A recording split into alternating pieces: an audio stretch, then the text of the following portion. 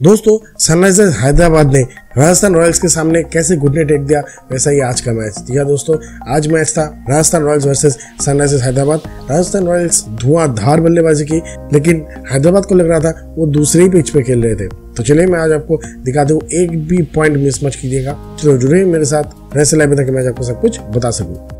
दोस्तों सनराइजर्स हैदराबाद ने टॉस जीता, राजस्थान रॉयल्स के खिलाफ और बल्लेबाजी ना करते हुए गेंदबाजी करने का फैसला लिया, जो कि सब लेते हुए आ रहे हैं इस बार सीज़न में। दोस्तों, हैदराबाद की ओर से बॉलिंग की शुरुआत की भुवनेश्वर कुमार ने और ओपनिंग बैट्समैन बने राजस्थान रॉयल्स की ओर से जोस बटलर और यशस्वी जायसवाल। दोस्तों, पहले ओवर पे आए सिर्फ़ एक रन, दूसरे ओवर पे एक चौके की मदद से, जो कि रोमारियो शिवट को मारा गया। जोस बटलर द्वारा उस ओवर पे आया सिर्फ़ पाँच रन। दोस्तों, तीसरे ओवर पे एक चौका मारा गया भुवनेश्वर कुमार को, यशस्वी जायसवाल द्वारा और इस ओवर पे आया सिर्फ़ सात रन। दोस्तों, चौथा ओवर राजस्थान के लिए बहुत फ़ायदेमंद रहा, क्योंकि इस ओवर पे आए उमरन मलिक के बॉल पे दो चौका और दो छक्का, और सभी मारे हैं जॉर्ज बटलर ने, और इस ओवर पे आया 21 रन। दोस्तों, पाँचवें ओवर पे वॉशिंगटन सुंदर ने बॉल करने के यशस्वी जायसवाल ने पहले मारा छक्का, उसके बाद जॉर्ज बटलर ने मारा छक्का। दोस्तों, छठे ओवर पे चार मारा गया, तीन नटराजन को यशस्वी जायसवाल धरा, और पावर प्ले के बाद 58 पे ज़ीरो हुआ राजस्थान रॉयल्स के स्कोर।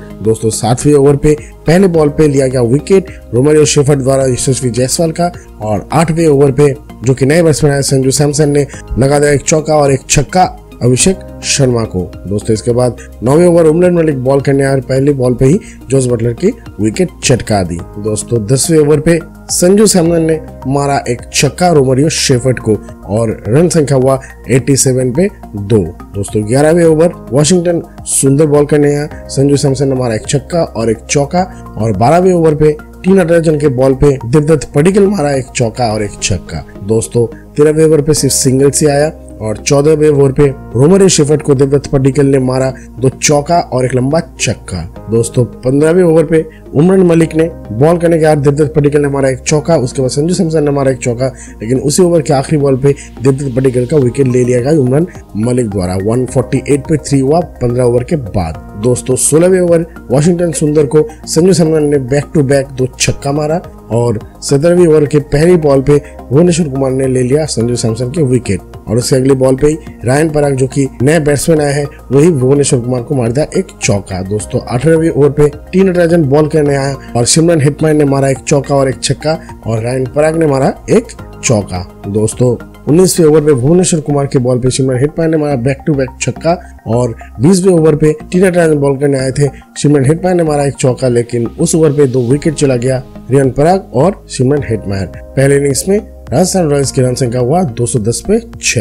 हैदराबाद को जीतने के लिए चाहिए 211 रन। दोस्तों, शुरू हुआ दूसरा इनिंग्स। टेन बोल्ट करने आए बॉल और हैदराबाद की ओर से केन विलियमसन और अभिषेक शर्मा आए बैटिंग करने। पहले ओवर पे मिला सिर्फ़ दो रन। दूसरे ओवर पे प्रसिद्ध कृष्णा ने आकर केन विलियमसन की विकेट ले लिया। तीस ओवर पे टेन बोल्ट को अभिषेक शर्मा ने मारा एक चौका और चौथे ओवर के पहले बॉल पे ही प्रसिद्ध कृष्णा ने लिया और एक विकेट राहुल त्रिपाठी की। दोस्तों, पांचवी ओवर के पांचवी बॉल पे टेन बोल्ट ने लिया निकोलस पुरान के विकेट और उसके बाद ही एडन मार्क्रम ने मारा एक चौका। दोस्तों, पावर प्ले के आखिरी ओवर में छठा ओवर पे मिला सिर्फ़ एक रन। दोस्तों, सातवें ओवर की सेकंड लास्ट बॉल पे नथल नील को एडन मार्कर ने मारा एक चौका। आठवें ओवर की लास्ट बॉल में रविचंद्रन अश्विन को अभिषेक शर्मा ने मारा एक चौका।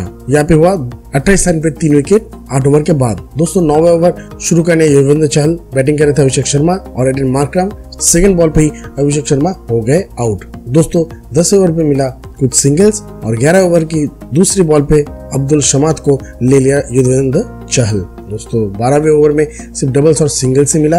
तेरहवें ओवर की चौथी बॉल पे युद्धवेंद्र चहल को एडन मार्करम ने मारा एक चौका। दोस्तों, चौदहवें ओवर पे बॉल करने आए नथन कुल्डर नील।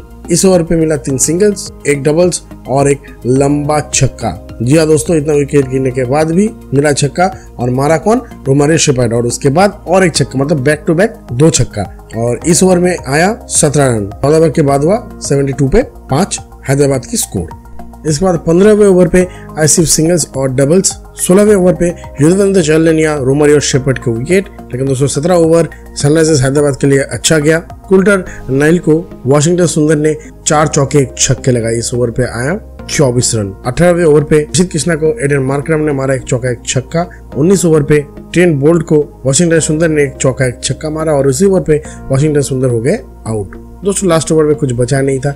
रायन पराग को आयरन मार्क ने एक चौका, एक छक्का मारा। 149 फॉर सेवन सनराइज हैदराबाद हार गए इकसठ रन पे। तो दोस्तों, आपको ये मैच कैसा लगा? नीचे कमेंट सेक्शन में ज़रूर लिखा दोस्तों, मुझे इंतज़ार है दोस्तों, आपकी मीठे मीठे कमेंट का।